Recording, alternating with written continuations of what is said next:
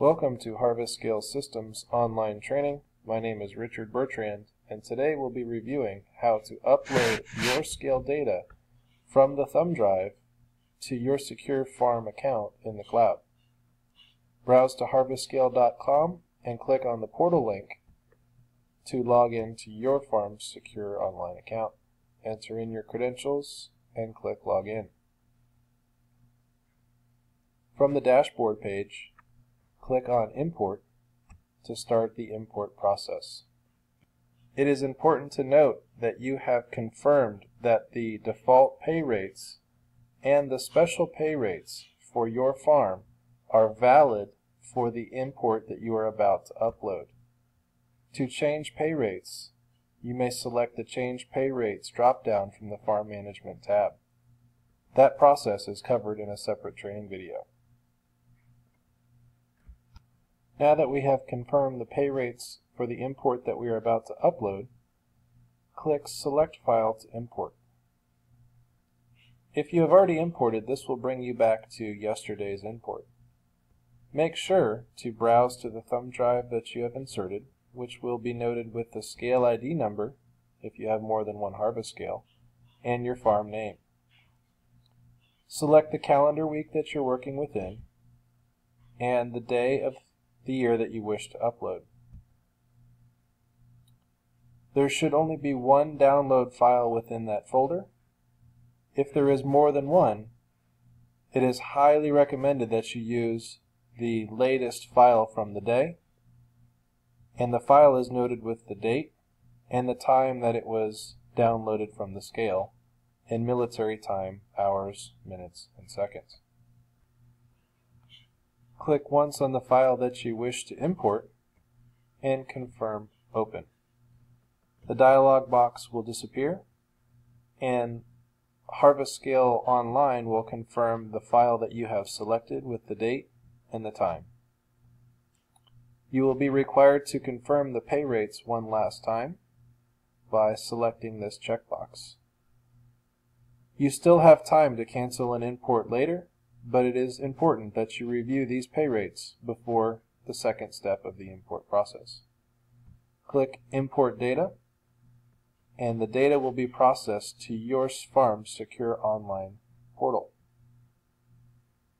On import, you will be provided with a import snapshot, which will give you the total picked on this import, your estimated labor costs before reviewing the transactions below, and your average labor cost per pound if any of your pickers were working hourly wage versus piece rate. Scrolling down, you'll have the ability to review everyone's transactions for the day prior to submitting this import to the cloud and saving the data forever, or saving it for later for somebody else to review, or after realizing a potential pay rate was not correct, you may cancel this import, correct that pay rate, and start over. Each employee's transactions from the scale for that import can be reviewed and edited as needed to make corrections from the day. Simply click on the right drop-down tab to view the individual transactions for that employee for that day. We will go into great detail on how to make edits and adjustments on this import step 2 in a later training video.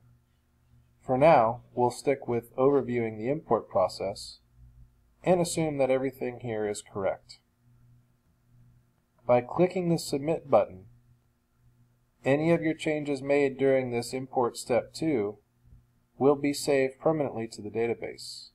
Again, pay rates must be confirmed to be correct this is your last chance to change it. Clicking Submit saves this import to the database forever. Import step number three is a confirmation that your import successfully uploaded to the cloud and provides you with an overview snapshot of your import. It will display the picker and their transaction weight in pounds to easily identify any outliers and display how many pickers were under minimum wage or how many pickers in green made piece rate. If you need to run any unique payroll calculations, you can do that using the productivity report in Microsoft Excel. Saving the pay rates only affects the payroll summary report, which is run later at the end of the pay period. The payroll summary report is designed to output a compliant payroll report based on the Department of Labor standards. If you need to run any unique payroll calculations using only the picker's weight information from the import, you can do so using the Employee Productivity Report and exporting that to Microsoft Excel and multiplying by whatever special pay rates or unique calculations that you need to do for that time period. If you have any questions on how to edit the employee's information from import step number two before clicking submit, please watch our import step two details video that will highlight some of the key things that you may need to review, edit, or change in the import step 2 before confirmation of that import. If you have any questions, please reach out to your local Harvest Scale Systems distributor or email info at harvestscale.com. We're always happy to help, and thank you so much for watching.